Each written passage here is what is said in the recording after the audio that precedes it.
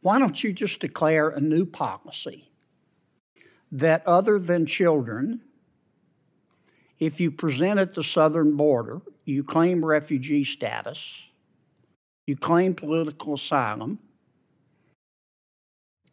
and you haven't claimed refugee status and political asylum at the first safe country, then you can't come in.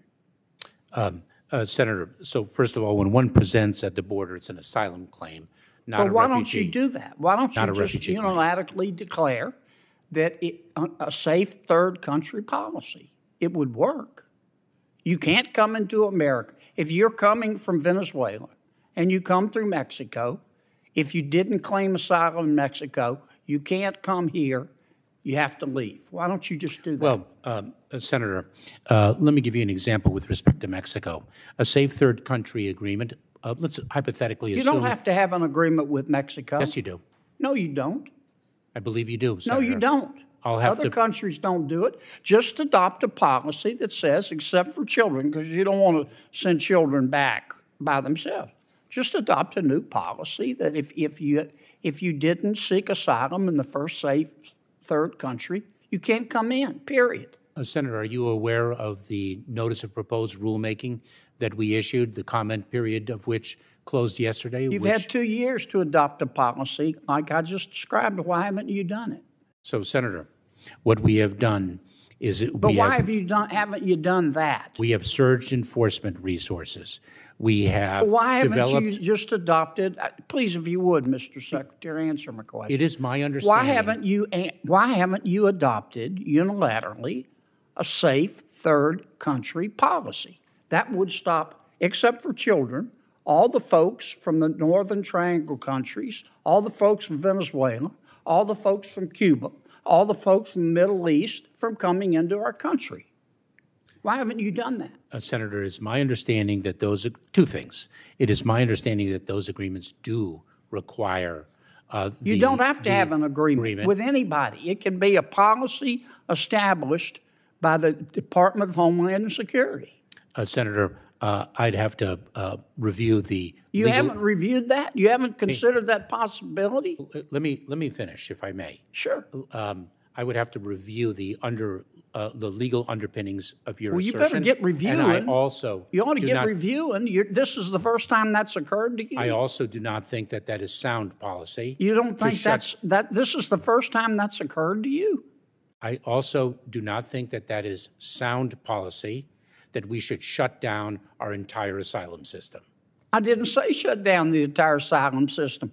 I, I, I said safe third country. All you have to do, Mr. Secretary, if you're really serious, and it's beginning, frankly, to appear that you're not, is adopt a policy that says we're not, we're not seeking anyone's agreement. We don't have to. If you're coming from a another country and you come through, let's say Mexico, and you say you're, you're, you're seeking asylum, you have to seek it in Mexico or the other first safe third country, or you can't come in. Period. Done. End of story. Why don't you do that? Uh, uh, Senator, um, uh, I don't think that we have the unilateral authority. Sure, you do. Other Uh, countries Number one do and it. number two, as you mentioned, tried sneaking into China? As I've mentioned, I do not think that is sound policy Why? uh, because you are basically shutting down our asylum system. No, you're not. You're saying we, we respect, we honor your right to seek political asylum, but but you, you're cherry picking. Do it in Mexico first. Why, why haven't you done that? I, I've, I, I think I've addressed that issue, Senator. You don't want to do it, Mr. Secretary. That's what it's beginning to look like. Because you think our borders ought to be open. And it would be more intellectually honest if you just say that. That is false.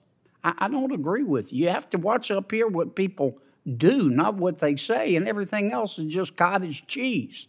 Uh, Senator, I don't think Thank you, I don't Mr. think the 1.4 million people who were expelled or removed last year would consider the border open. Mr. Chairman, you've had, or Mr. Secretary, you've had billions, or millions coming into the country illegally. The most of the history of ever under your watch.